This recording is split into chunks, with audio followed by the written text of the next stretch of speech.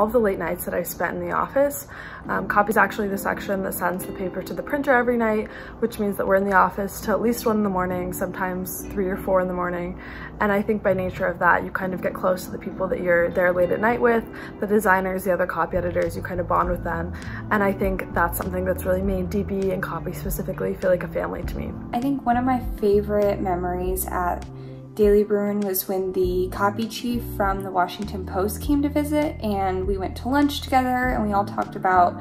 our own experiences in copy.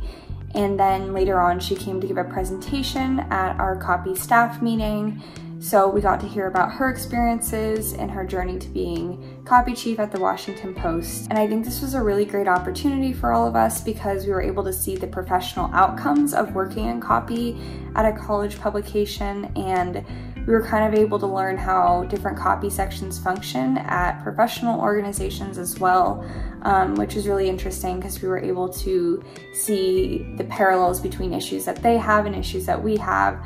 and it was kind of comforting to know that even at a professional publication they can have some of the same problems and experiences and joys of working in copy as well. One of my favorite projects that I've worked on in copy is our internal style guide, which is called Hoot. A few of us got together with our online team and our design team and really like sat down and figured out not only like the individual entries that were gonna go in the style guide, but also how it was going to function as a website, which was really, really cool. So we got to build um, this internal website that everyone at the Daily Bruin can have access to, and they can look up anything from how to spell Janss steps to whether we capitalize new student orientation or not, and any number of other things that aren't necessarily in the Associated Press style guide, but are specific to UCLA um, the Westwood community and the Daily Bruin. Copy's a little bit unique in that we're very much behind the scenes. So I think the impact that we hope to have on the paper